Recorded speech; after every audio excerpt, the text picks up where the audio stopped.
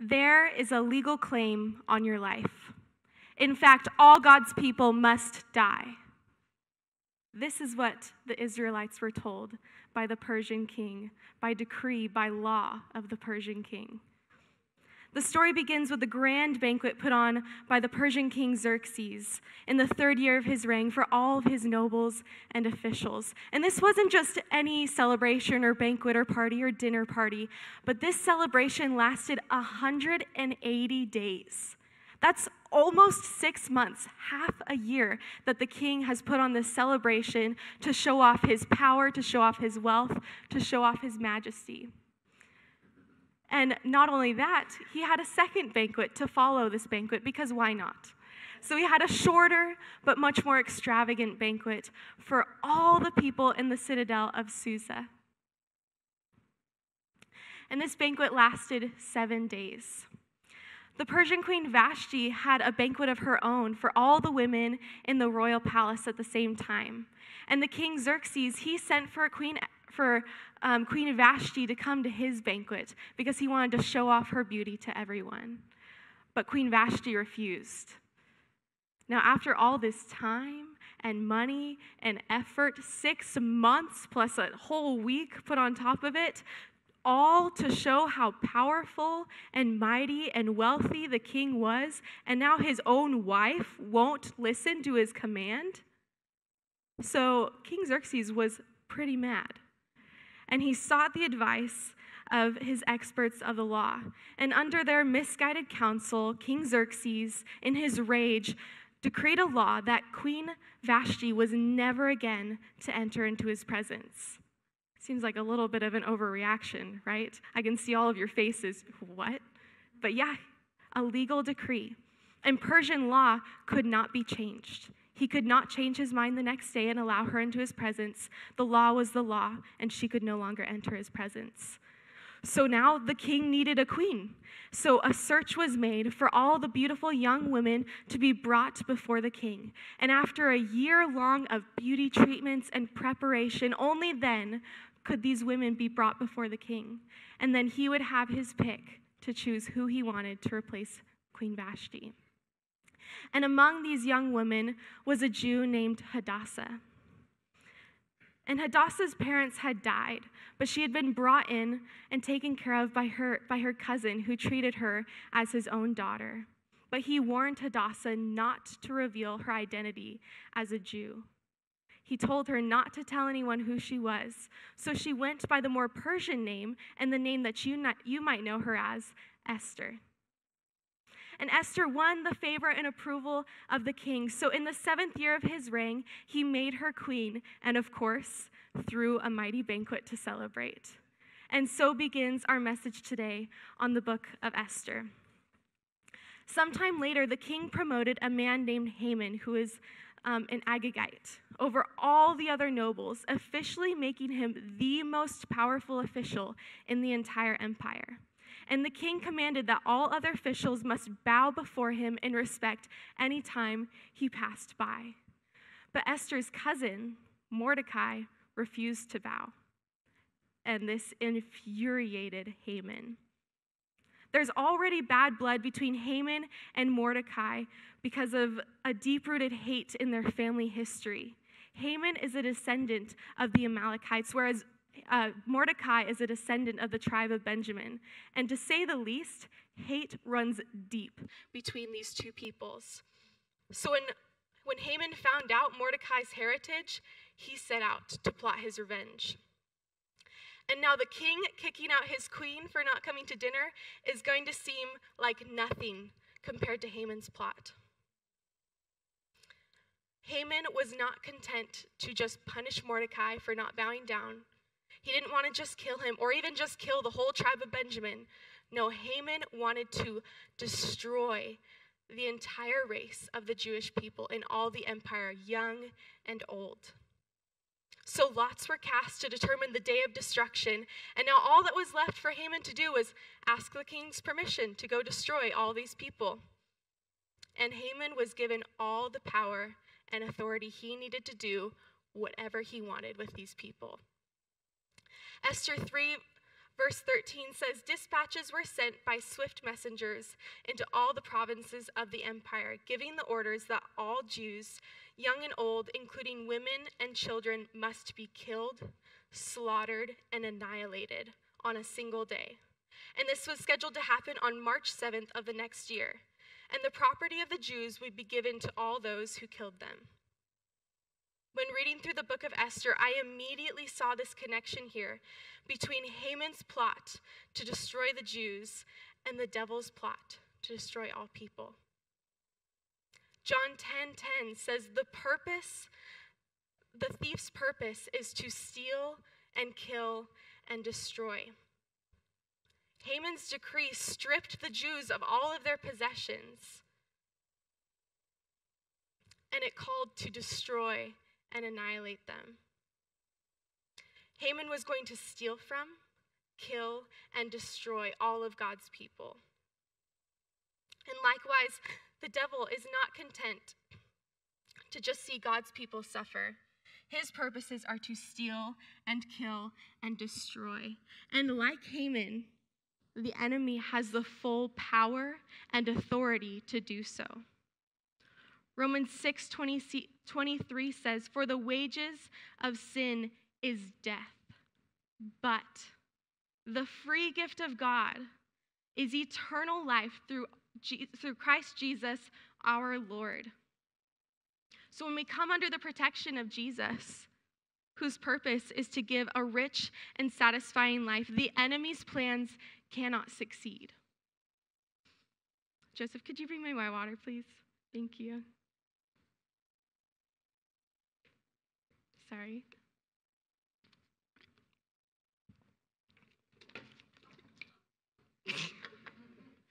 no one saw that, right?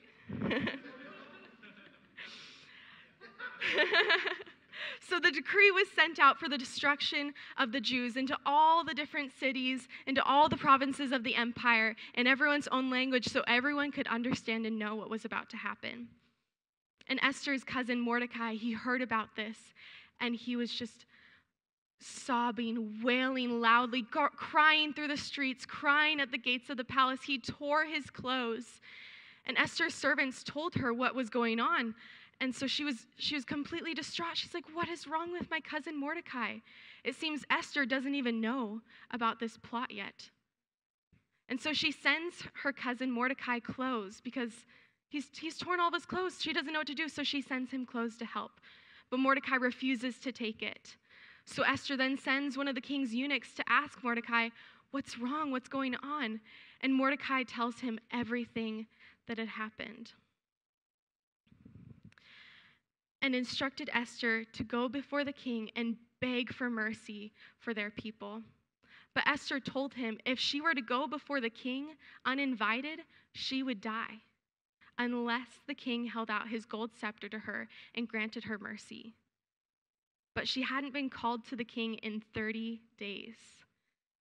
Now, the king and Queen Esther, they've been married for a while. She was made queen in the seventh year of his reign, and now it's around the 12th year of his reign. So they've been married for a while, and it's been nearly a month since the king has called her. So she's thinking, well, maybe my favor with the king has diminished. And maybe if I do go before the king right now, he won't grant me the same favor that I knew before, and I'll die.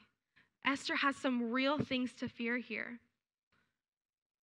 But verse 13 through 14 says Mordecai sent this reply to Esther Don't think for a moment that because you are in the palace, you will escape when all other Jews are killed.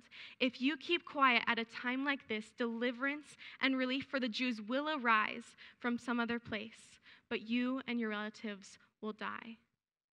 And who knows if perhaps you were made queen for such a time as this. And Esther replied in verse 16, she said, Go and gather all the Jews of Susa and, and fast for me. Do not eat or drink for three days, night or day. My maids and I will do the same. And then, though it is against the law, I will go in to see the king. If I must die, I must die. If Esther went before the king uninvited, she would likely die. That was the law. And let's not forget that this is the same king who banished his last queen for not coming to dinner when he asked. He felt so disrespected by that, he banished her. So, what sort of disrespect could he expect when Esther comes before him uninvited? This is a real threat on Esther's life. Esther, who was once just a face in the crowd, has now been elevated to a position of authority and power. She's no longer Hadassah, but Queen Esther. And hidden under her secret identity, she holds the key to the salvation for God's people. Did you know you hold a key too? As God's people, we carry with us the truth of God's word, the truth of our need for salvation, and the truth of our Savior Jesus. If you have accepted Jesus as your Savior, you have been elevated to a high position of authority and power, just like Esther. We're on a mission to see lost people saved. And perhaps you've been living with a secret identity like Esther. You're a Christian, but it's not really something you're outspoken about, it's not really something that you share with others. It's a hidden identity that you keep inside. And perhaps your hidden identity will serve you for a time, but just like Esther's, if you keep your identity hidden, people will die. That is the weight of Esther's mission. If she keeps quiet, her people will die. And it is the same weight of our mission. If we keep quiet about the truth of Jesus Christ as our Savior, people will die. Our mission is not about filling the seats in this church. Our mission is about filling the kingdom of heaven, about saving souls. But you know, the enemy has his own mission to steal and kill and destroy. But God has come to give eternal life. And that is the truth of the Bible that needs to be shared. That is our mission. So on the third day of the fast, Esther put on her royal robes and entered into the inner courts of the palace, putting her life at risk. Esther had no idea what was going to happen. If you know the story, you know what happens. But just put yourself in her shoes for a second. She's entering into this room and she doesn't know if she's going to leave, dead or alive. But she enters in anyways. We can't know in advance what our commitment to the mission is going to cost us. But Esther does not equate commitment with foolhardy risk. She goes before the king prepared, she has a plan in place. Esther has come dressed for the occasion. She has prepared internally, praying, fasting, and externally, she's clothed herself in her royal robes. And we need to use the same wisdom as Esther to prepare internally by praying, getting our hearts right with God, and externally by clothing ourselves in the armor of God so that we can step into the mission that He has for us. Not foolhardy risking our faith, not foolhardy risking our life, but saying, God, I'm committed to your mission. I have prepared for your mission, and I will follow where you lead me. And if I die, I die. That is what Esther says. So Esther enters the court and the king who's sitting on his throne sees her. And I can just imagine the tension of the moment. Esther's waiting for what he's going to do, and maybe the king's like, What's Esther doing here? We don't know.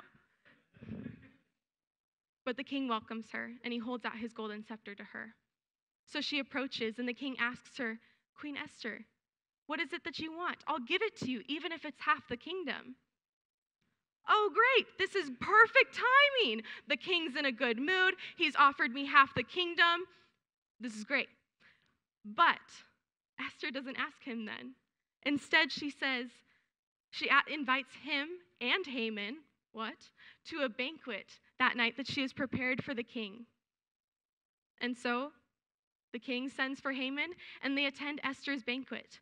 They've eaten, they're drinking, they're feeling good. The king's happy, and he asks Esther again Queen Esther, what is it that you want? What is your request? I'll give it to you, even if it's half the kingdom.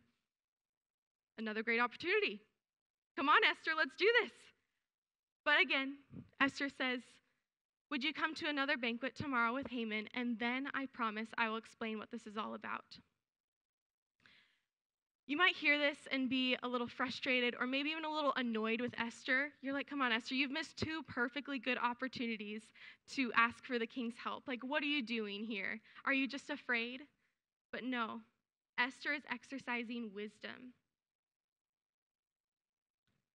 And wisdom is not just about knowing how to present oneself, it's about knowing when and what to say. And Esther was sensitive to the importance of timing. And I didn't have a chance to go through the entire book of Esther, but there's a lot of important things that had Esther not waited, I think I'm okay for now. Had Esther not waited, the timing wouldn't have been right. So Esther is sensitive to the t- importance of timing. So it's the second banquet. The king and Haman are attending. And again, the king asks Esther, Esther, what is it you want? I'll give it to you, even if it's half the kingdom.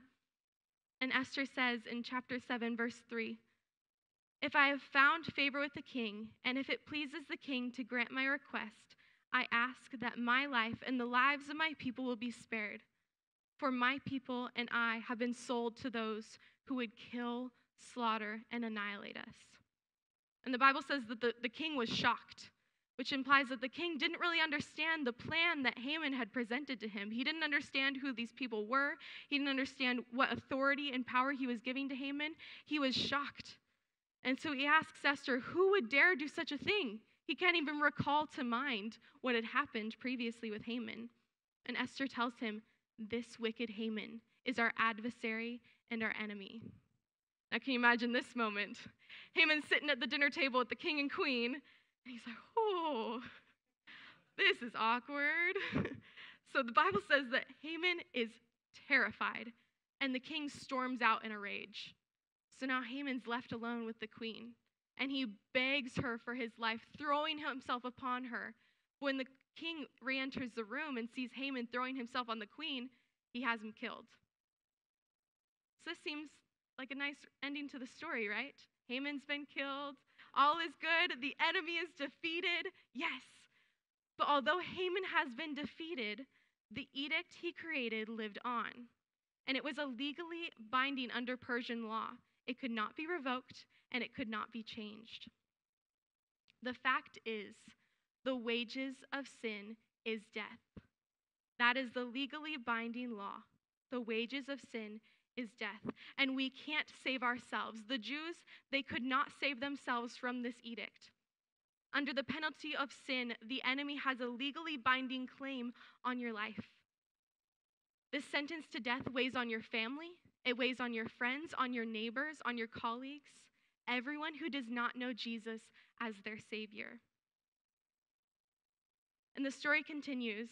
The king gave Esther and Mordecai the power of his signet ring which gave them the power to do whatever they wanted in the king's name. So they wrote a second edict under the authority of the king. And this decree said in, says in chapter 8, verse 11 The king's decree gave the Jews in every city authority to unite to defend their lives. They were allowed to kill, slaughter, and annihilate anyone of any nationality or province who might attack them, or their children, or their wives, and to take the property of their enemies. And like Haman's decree, this one was copied, written in all the languages of the people, and sent out so that everyone would know. The second decree allowed the Israelites the chance to fight in defense of their lives, but it had no power to save the Israelites unless they knew about it. If the decree was written and simply put in a drawer, or it was written and only told to a few people, or if it was written and then thrown in the fire, never to be seen again, it holds no power to save the lives of the Israelites. They need to know about the saving grace of this edict. And the same goes for the gospel. If the word goes unread, the truth of salvation is hidden. If people who are unsaved don't know what the Bible says about their salvation, about their need for salvation, they won't be saved. That's the mission to share the truth of the gospel. And we can rejoice knowing that our enemy, like Haman, was defeated when Jesus died on the cross. But the legal claim to your life still stands until you accept Jesus as your Savior.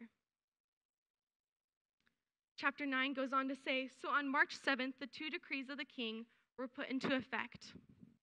On that day, the enemies of the Jews that had hoped to overpower them, but quite the opposite happened. It was the Jews who overpowered them. The Jews gathered in their cities throughout the king's provinces to attack anyone who tried to harm them, but no one could make a stand against them, for everyone was afraid of them. And that is the grace of God. When the day comes that the enemy has planned to steal, kill, and destroy lives, he will not be successful because, the, because of the gospel and the truth that we have shared. And by the favor of the king, this second edict was extended to a whole nother day. And I want to be clear about this. It wasn't extended so that the Israelites would have freedom to go out and kill whoever. The edict said that they had the freedom to protect themselves against people who would try to attack them. This is all about self defense. So the edict was extended another day. And in total, the Jews gained relief from their enemies, killing 75,000 of those who hated them. They were not liked in Persia. 75,000 of their enemies were killed. And now it makes sense why Mordecai told Esther or told Hadassah not to tell people who she was. He feared for her life because there was a real threat in the kingdom for their people. But now, every year, the festival of Purim is celebrated to remember the Jews' victory over their enemies. And it's called Purim because that's the name for casting lots, determining the day that, that it was set to be on March 7th. So they celebrate the festival of Purim. Esther is the only book of the Bible that does not mention God by name, the only one. But it's so evident you can see God's providential care working throughout the entire story. The favor that Esther gains at the beginning with the king, her favor when she enters into the courts, and all different parts of the story that I didn't get to share. God's presence is there with her. And Esther finds favor because she made God's priorities her priorities. When we align with the unshakable kingdom, we too will never be shaken. Before going to the king, Esther stated, If I must die, I must die. Have you ever had that level of commitment to God's mission? I don't even know if I have. And she's not just saying it, she steps into the throne room and she risks her life. And she does it saying, If I must die, I must die.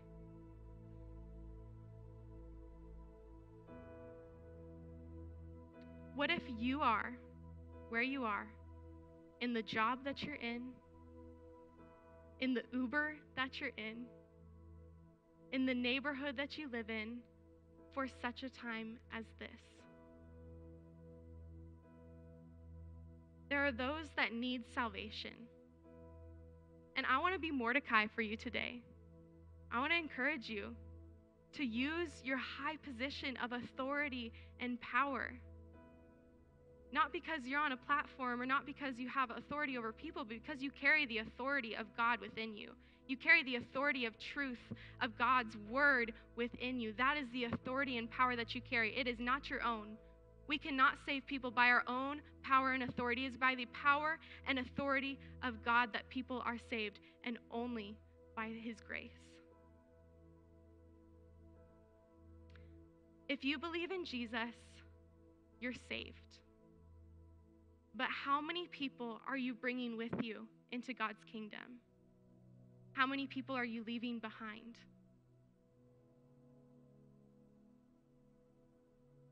So today, I want to challenge you to step out into the throne room.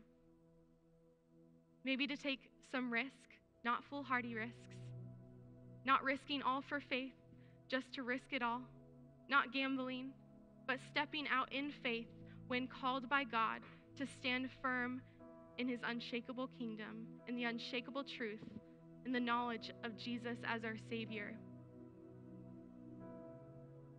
And if you want to do that today, I want to pray over you. I want to pray that God would give you the wisdom that Esther had to know the right timing, that God would even give you the courage. You know, courage is not the absence of fear. Courage doesn't exist unless you're a little afraid. You can't be courageous if there's nothing to be afraid of. It's going to be scary. Esther was scared, but she was also courageous. She stepped out anyways. So, every head bowed, every eye closed. And if you feel like this message has touched your heart today, you feel like maybe I've been living with a secret identity as a Christian. I didn't realize I was. I wasn't necessarily hiding it, but I also wasn't sharing it with people. If you feel like maybe that's been you and you want to make a change today, you want to say, God, I want to be used for your purpose, for your mission, Lord. I want to step out in faith, in confidence, with courage, Lord, and I want to see people saved, be Lord, because that is your mission, Lord, and I want to align my mission with your mission, God. If that's you today, with every head bowed, every eye closed, would you just raise your hand for me? That's so awesome. Now go ahead and put your hands down. Everyone can open their eyes. Now, for those of you that raised your hand, or the ones that wish they would, I'm going to ask you to do something that's going to make you feel uncomfortable. Esther had to step out in the throne room, and it probably felt a little uncomfortable. I'm going to ask you to come forward, and I'm going to pray over you up here. Just as a symbolic act, go ahead. A symbolic act as Esther walked into the throne room, she came forward before the king. I want you to come forward before the King of Kings, not before me, but before God, and say, Lord, I am here for your mission. I'm here for your will, for your purposes, Lord. Use me in whatever way. And if I die, I die, Lord. Use me. That is so awesome. I want to see our whole church up here because this is our mission. This is the church's mission. This isn't Pastor Garen's mission. This isn't Pastor Shelley's mission. This isn't even my mission. This is God's mission that we would see every single person in the city of Auburn saved. We wouldn't just see them well, we wouldn't just see them clothed and fed. We would see them when we die and we, we're in the kingdom of heaven. We would be able to look across and say, You're here because I saw you on the street and I stopped and I talked to you. How many people in the kingdom of heaven are going to come up to you and say, I'm here because of you. Thank you. I wouldn't be here without you. How many people? So I'm going to pray over you. We just have every head bowed, every eye closed. Lord, I just thank you, God, for the courage that you have already given each and every person up here, God. And I'm up here too, Lord. I want to be used by you. Lord, I pray that you would give us wisdom, God, to know the right things to say, how to say it, God, but also the perfect timing, God. Give us your wisdom, Lord. And Lord, I pray that you would help us to prepare in advance, Lord, that we wouldn't just make foolhardy risks. We wouldn't just sacrifice our job for no reason, Lord, but that we would be sensitive to the call of your voice, sensitive to your guiding, Lord. Give us wisdom, Lord, to know what to do, Lord. Clothe us in the armor of God, Lord, that we may enter into the battle protected and surrounded by you, Lord. And God, we all here, Lord, we surrender our lives to you, God. We want our mission, our purpose to be your mission, God. Your mission to see people saved, Lord. Your mission to bring people into the kingdom of heaven, God. So we surrender it all to you today, today, God. We thank you and we love you. In Jesus' name. In Jesus' name. Thank you so much. Go ahead and take a seat.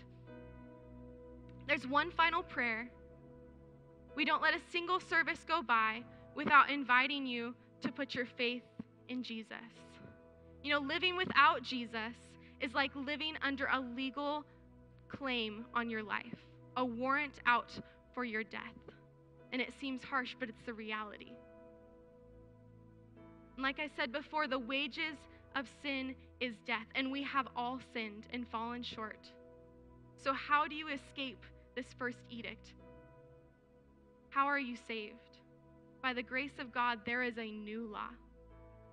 The new law says that whoever believes in him, in Jesus, will not perish, but have eternal life in Jesus. So, how do you become a Christian? By turning away from your sin, all those things that have separated you from God, that have kept you from Him, and turning your life over to Jesus and letting Him lead. And if you want to do that today, I invite you to be brave, to be courageous, and join, join the mission. So, with every head bowed, every eye closed, if that's you today, if you're you know, I, I haven't been living for God, I've been separated from Him, I've been living in my sin, and today I choose, I want to turn from my sin and turn over to Jesus. If that's you, would you just raise your hand for me? I want to pray for you. Amen. Go ahead and put your hand down. With every eye closed, everyone, every head bowed, would everyone stand with me and let's pray this prayer together out loud. And if you're praying this prayer for the first time, I want you to pray it to Jesus. Would everyone repeat after me? Say, Jesus, I invite you into my life. I acknowledge that I am a sinner in need of a Savior. So please forgive me of my sins and make me new. I choose to follow you starting now. In Jesus' name. Can we just get a shout of praise for that?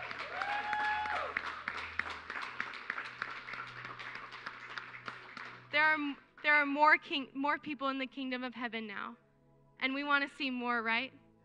So let's be courageous in our mission.